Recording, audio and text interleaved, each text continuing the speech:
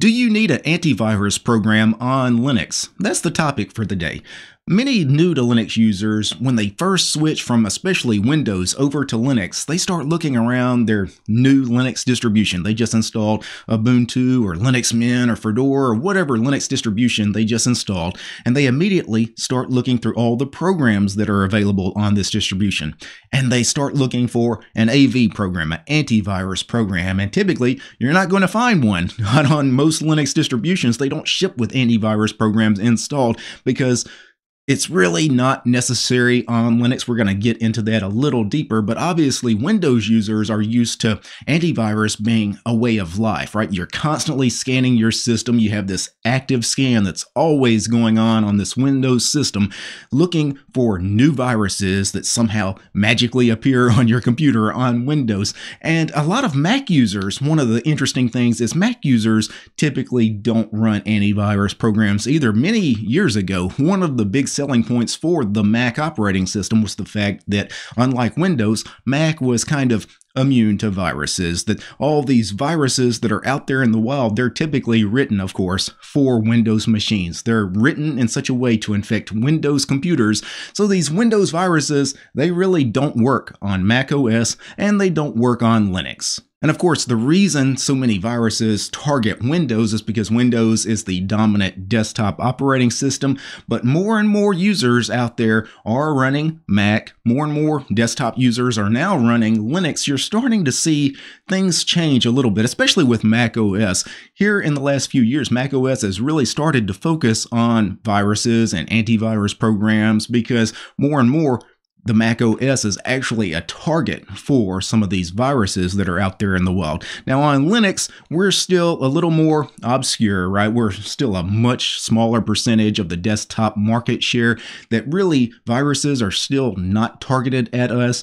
And I would say 10 times out of 10, if you ask longtime Linux users, do you need to run an antivirus? The answer is always going to be no. You won't find really anyone in the Linux community running an antivirus. You can go ask in a forum or a subreddit, a, Linux Discord channel, the IRC channel, hey, do I need an antivirus on Linux? And overwhelmingly, you're just going to get flooded with a whole bunch of no's. Now, it's possible that as Linux becomes more and more popular on the desktop, that we may need to rethink this the same way that the Mac guys had to rethink uh, their stance on viruses, that it wasn't necessary to have antivirus. In the future, the Linux community, we may need to revisit this at some point, but for right now, I would say you definitely don't need antivirus on your Linux system. But there are several things you should be doing on your Linux system to greatly increase the security of that system. By far, the most important thing you can do on your Linux operating system to make it secure is to update the system. Make sure you do regular updates, and it doesn't matter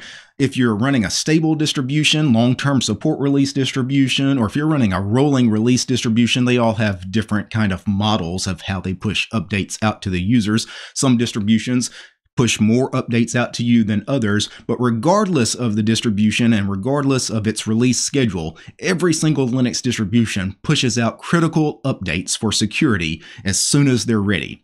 So make sure that you don't go more than a few days or a couple of weeks without actually running an update, just in case there's some critical kernel vulnerability out there or some major issue with a web browser or something that could actually cause your system to be insecure. Make sure you're actually updating that machine on a somewhat regular basis. I'm not saying that it's critical that every single day you get up and run an update, but I wouldn't go more than about a week or two without running an update regardless of the distribution I was running. Another really easy way to secure your Linux operating system is make sure you have a firewall enabled, and that could be through software such as UFW, the uncomplicated firewall, or uh, whatever firewall program you want to run, uh, or you could actually do it with hardware. You could set up a router as a firewall. However, it is you want to do this, make sure that just any internet traffic that's out there can't actually connect to your computer. That's probably one of the easiest ways to actually secure a machine is just to deny all of those outside connections, most of which are just hackers typically just trying to bang on your machine and see, hey, are you going to let me in? Speaking of hackers trying to get into your machine, you should actually restrict user access on your machines too for increased security. I've done videos about this in the past.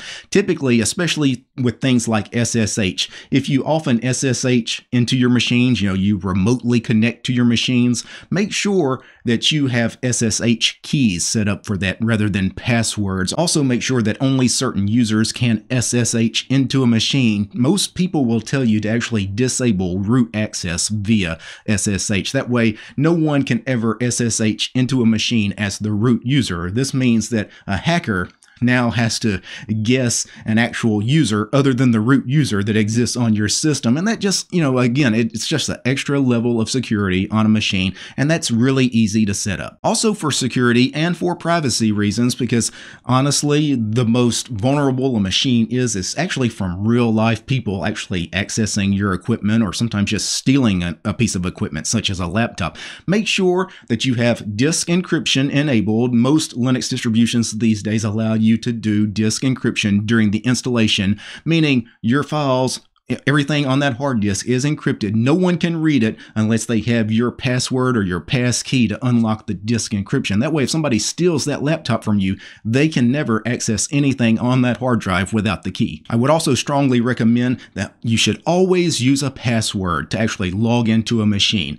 Many distributions allow you to just automatically log in without being asked for a password. Again, for security and for privacy reasons, I strongly recommend never to actually use that feature. Make sure you have to enter a password to get into your machine. Also, make sure that password is strong. Make sure that password is unique. So if you're doing all of those things that I just mentioned, honestly, your Linux machine should be rock solid secure. There's no reason to be running an antivirus program on that Linux box, but could you run antivirus on a Linux machine if you wanted to? Sure. There's antivirus programs out there that run on Linux. There's I know there's at least 3 or 4 off the top of my head that do have Linux versions available.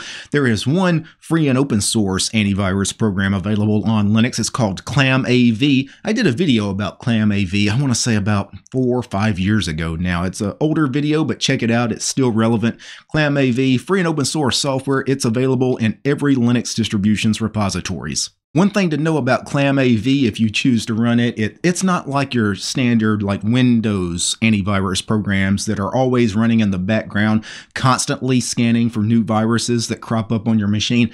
ClamAV doesn't work that way. You scan your system when you feel like scanning it. If you want a regular schedule, you can set up a schedule so ClamAV runs every uh, week or month or whatever it is that you set it to. Know that the scan Scanning an entire file system takes a while, so it's not something you really want happening all the time on a machine. The other thing is when you run a program like ClamAV, it will come up with positives, but they're typically false positives. They are harmless files on your system that are not actually viruses. So you have to be careful. You don't want to just blindly delete the things that it detects on a file system.